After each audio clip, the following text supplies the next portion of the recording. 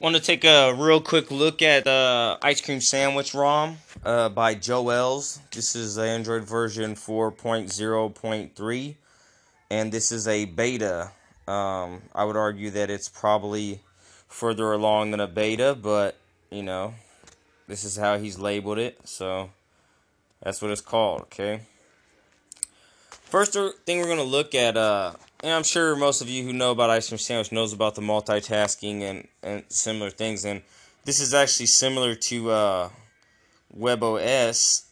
Similar, I say, not exact, but it's similar. And, uh, you know, we'll just get rid of a few things right now. Uh, that way, uh, I'm not going to get rid of screencast because that's what we're using, but uh, that way we're not using anything else really. Uh, all in all, this ROM is pretty smooth. Like I said, it's probably farther along than a beta. Uh, the only thing that is not functioning properly, is, or at all, I should say, is the camera. There are things that are not functioning properly, but uh, mostly it it's the camera that's not um, the main thing that's not working. Um, Wi-Fi does work, um, and also Bluetooth does work. Um,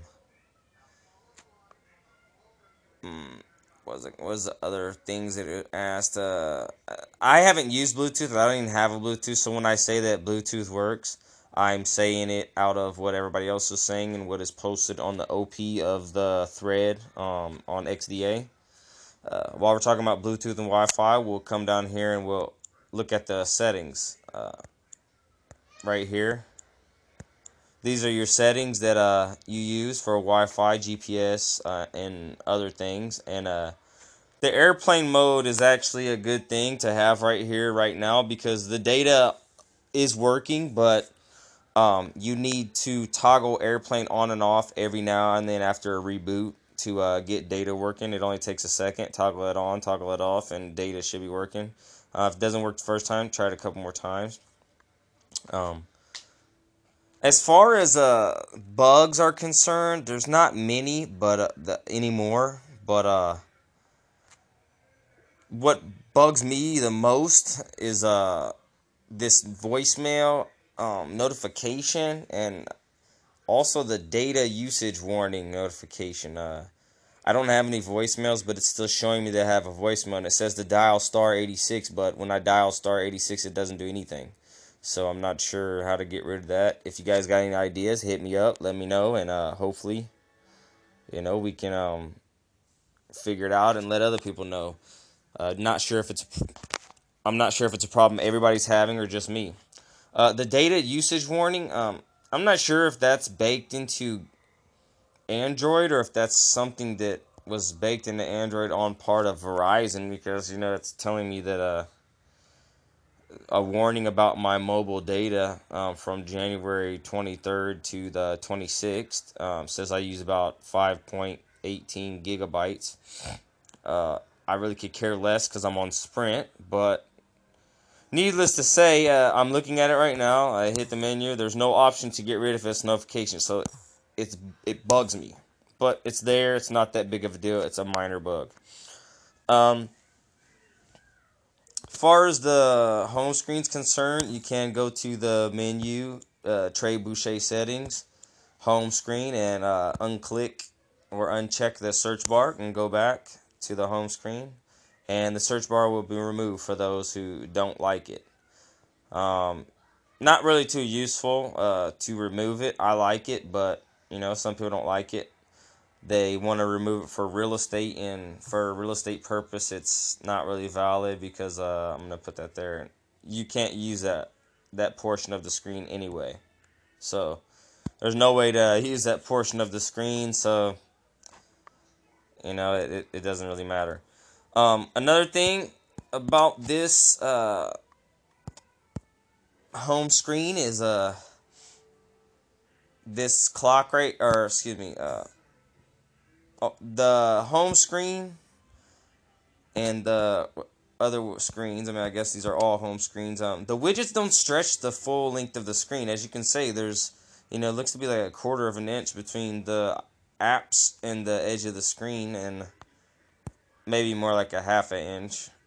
than a quarter of an inch, but uh, it doesn't stretch like you would have on other ROMs. And I don't know if that's just this ROM or if it's ice cream sandwich period because uh, I- am willing to bet it's this ROM because um, I, I I put ice cream sandwich by deck, de- uh, by by Kush deck onto uh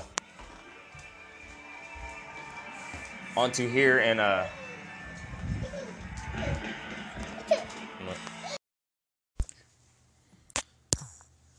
Uh, I, I had a small problem in the other room, so I had to stop this video. I'm going to restart it now.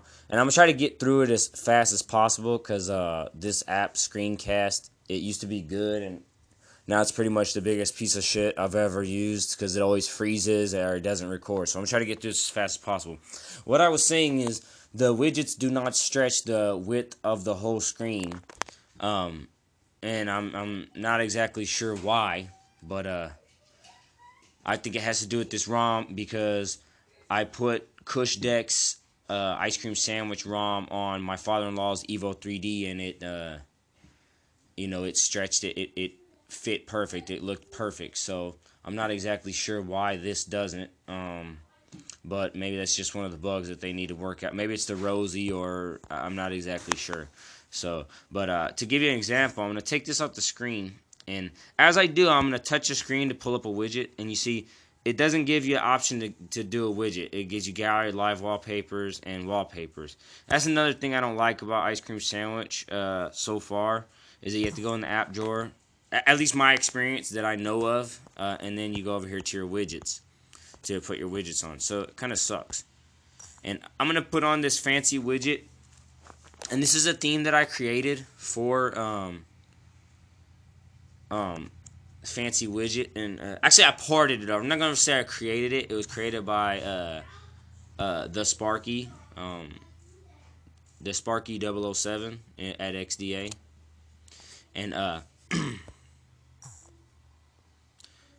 you can see I have to resize it down here to get the numbers and letters not to overlap the background. Uh, as you can see right there, the regular size it, it does.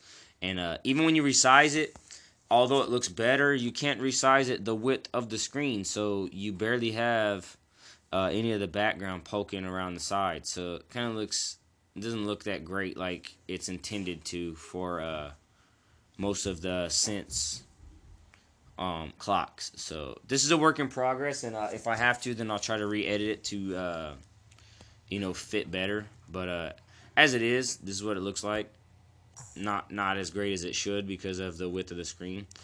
Um, we'll uh, take a look at the YouTube app or the YouTube widget, and it, it's pretty it's pretty cool. Um, a lot different than the gingerbread version. This is the ice cream sandwich version. Um, you know, gives you a couple different videos to flip through. Pretty cool. Um, other than that, the ROM's pretty good. Everything works like I said, uh, except for the camera, and there's a few minor bugs, but nothing that's you know holding me back. I've been driving it for uh, like four days now, since I think the 22nd. So you know it, it's it's worthy to drive as an everyday phone. You know if you don't need a camera. So and if you do, you know try Boot Manager. That might work. You know. But I'm out. Uh, hope you enjoyed this. Uh, um, oh, uh, one more thing. Uh, Wi-Fi tether. Um, to enable Wi-Fi tether.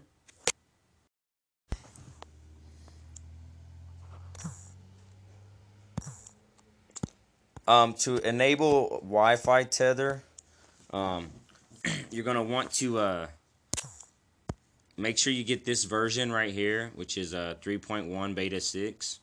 And uh, once you get that, you're going to want to set it up this way, uh, device profile. I put auto. You can try generic or Evo 3D and see if that works for you. It didn't work for me, but you could try it. Uh, setup method, WEXT ad hoc. Uh, I guess that's because of the difference in uh, structure or framework. I don't know, but that's the way it works. Uh, I put enable access control, but you know you can do it however. MSS clamping and routing fix are a must, and that's pretty much it. Uh, you should be good to go after that. Um, one more thing, I want to uh, give a shout out to uh,